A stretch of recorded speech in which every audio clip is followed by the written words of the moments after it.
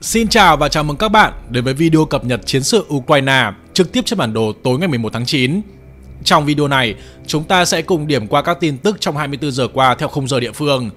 Đầu tiên chúng ta sẽ cùng bắt đầu với chiến sự ở bờ Nam Donetsk.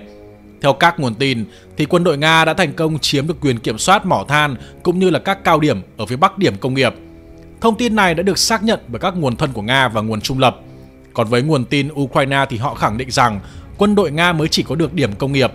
Ngoài ra thì Nga chưa thể nào chiếm đóng được các cao điểm cũng như là mỏ than tại đây. Chúng ta hãy cùng đi vào phân tích một số video đã được định vị sẵn có. Trong video trước chúng ta đã cùng bàn luận về video này. Có thể thấy rằng quân đội Nga đang tấn công tầm xa nhắm vào tòa nhà công trình cao tầng. Cốt là để buộc phía Ukraine lùi lại phía sau khi mà đã phá hủy đi các thiết bị liên lạc, vị trí đặt súng máy, bắn tỉa của họ. Đến ngày hôm nay, chúng ta tiếp tục có thêm một video mới được định vị về phía bắc vị trí vừa rồi. Đây là hình ảnh những người lính Nga đang dương cao lá cờ chiến thắng tại bờ bắc mỏ than số 1.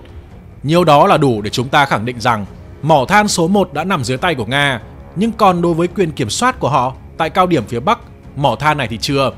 Mình sẽ giữ bản đồ như hiện trạng cho đến khi mà chúng ta có được các thông tin liên quan tiếp theo. Tiếp tục với cứ điểm phòng thủ ở phía nam. Theo nguồn tin bản đồ trung lập thì nơi đây đã bị quân đội Nga chiếm đóng.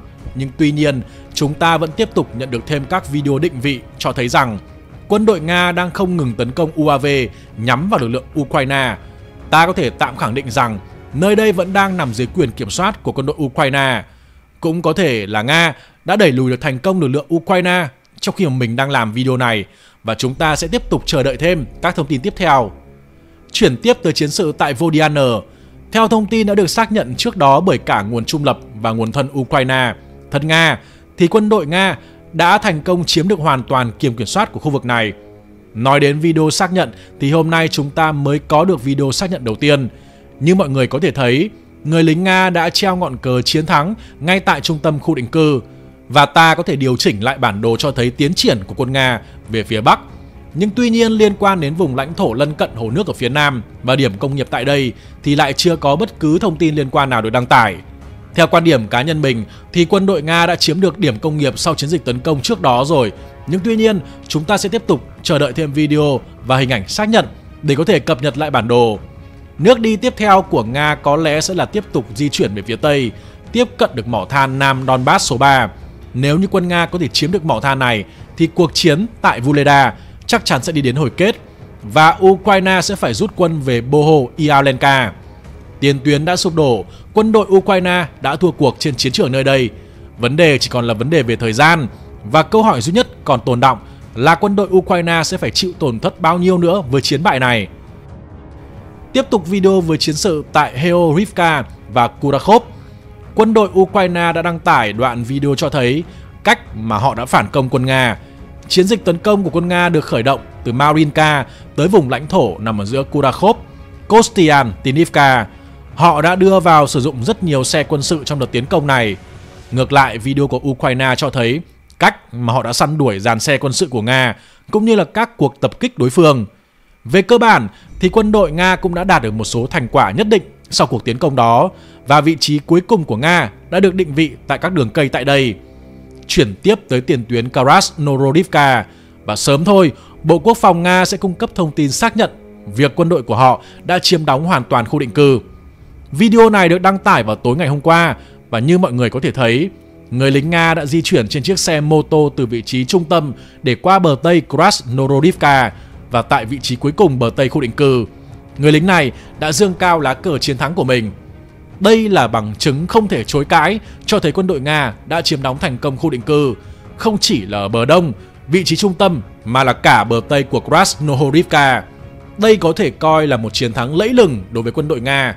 Từ 2022, chẳng có bất cứ ai tin rằng quân đội Nga lại có thể đánh thắng trận này một cách nhanh chóng và tối ưu như vậy. Thiệt hại gây ra đối với Krasnohorivka thậm chí còn không đáng kể.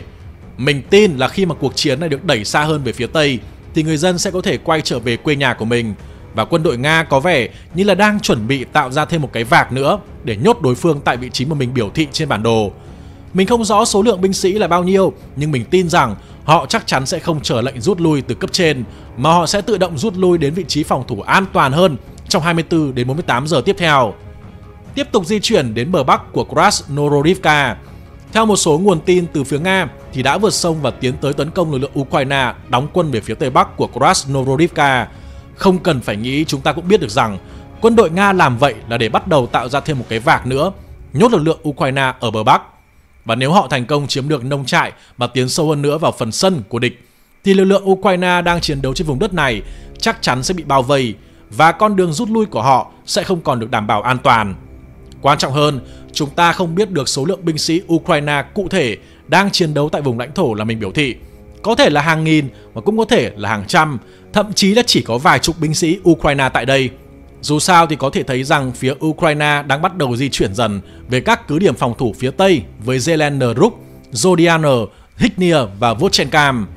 Tiện nói đến Hiknia và Ukraine thì trong những ngày vừa qua, chúng ta nhận được rất nhiều thông tin cho thấy nỗ lực từ phía Nga nhằm thâm nhập vào cả hai khu định cư nhưng lại chưa có bất cứ thông tin nào liên quan đến tình hình sau đó. Chúng ta sẽ tiếp tục chờ đợi và theo dõi thêm các thông tin liên quan tiếp theo vì tình hình tại đây có sức ảnh hưởng cực kỳ sâu rộng.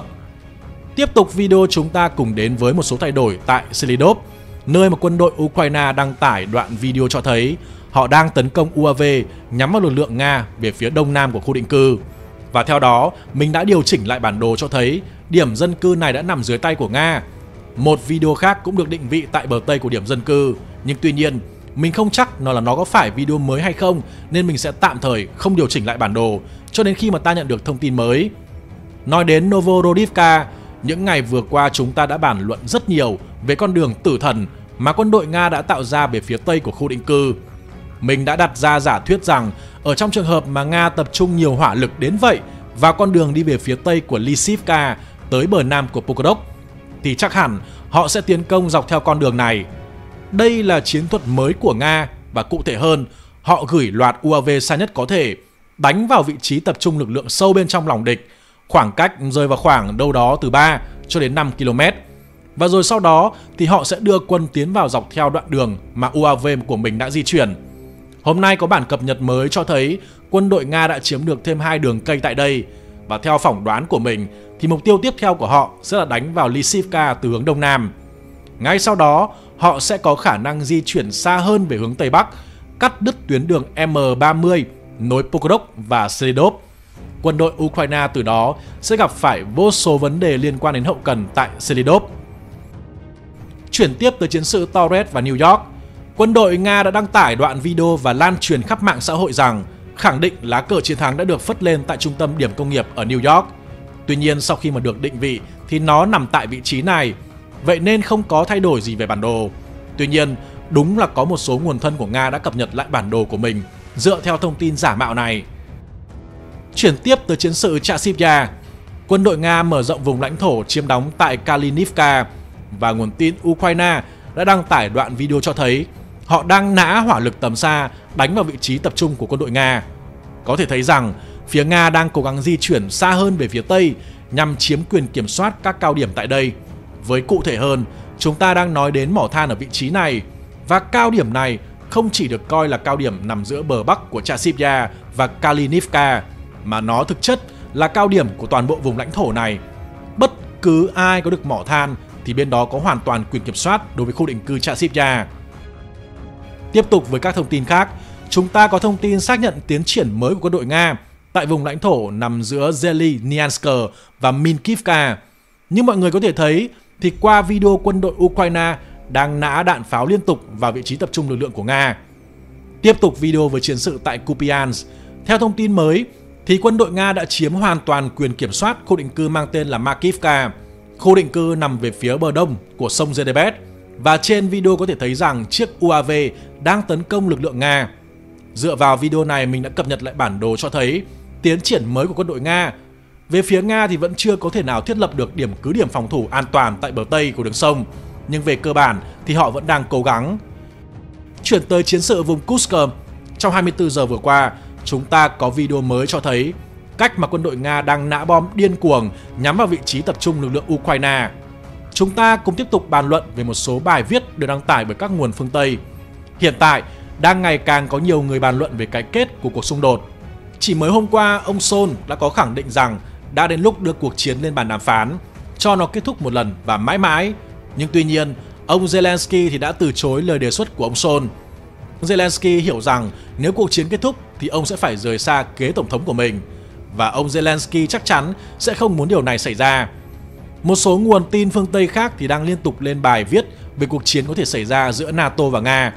Theo Bloomberg và một số nguồn phương Tây thì các nước phương Tây rất sợ hãi chiến tranh hạt nhân, nhưng phía Nga thì có vẻ như sẽ không đánh bom hạt nhân trực diện vào các nước này mà ông Putin là quyết định mình sẽ bắn pháo hoa trên vũ trụ như mọi người có thể theo dõi qua bài viết sau đây.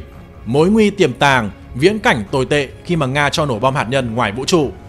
Tại trụ sở của NATO, sự bất an đang lan rộng về viễn cảnh Nga tấn công hạt nhân ngoài vũ trụ.